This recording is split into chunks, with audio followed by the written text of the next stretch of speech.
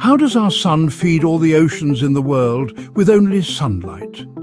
It's by energy transferring across the ocean's food web. And it all starts smaller than your fingernail. The sun blasts energy down to Earth in the form of sunlight. And in the ocean, tiny green superheroes called phytoplankton soak it up like solar panels.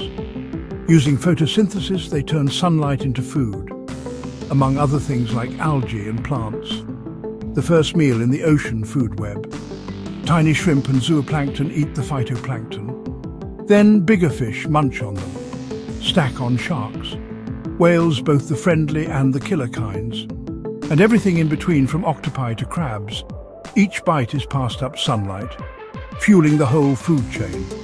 So next time you see a giant whale, remember it's powered by the sun, thanks to the plethora of invisible plankton. Wild, right? Like and subscribe for more ocean facts.